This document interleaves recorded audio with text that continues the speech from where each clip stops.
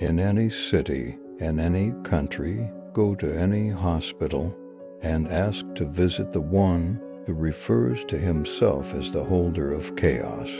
The clerk will begin to shake his head and pound his fist upon the desk. Ask him thrice more, and he will stand up quietly and lead you to a room with only one door, the one which you entered through. You must close your eyes.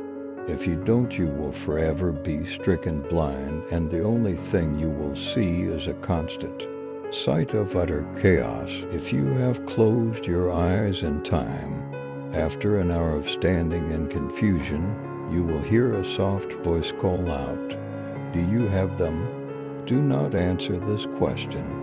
Instead, stomp your foot upon the floor and then open your eyes. If you see a long, stretching field in front of you, then you have succeeded in the first half of your endeavor.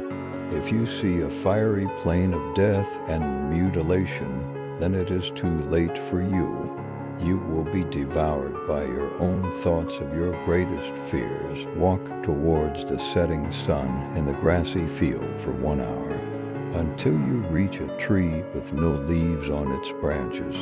As you get closer, you see that the tree is constructed out of bones, and it is surrounded in a pool of blood. Submerge yourself fully in this blood, and when you surface once more, you will feel a bone hand press something into your palm.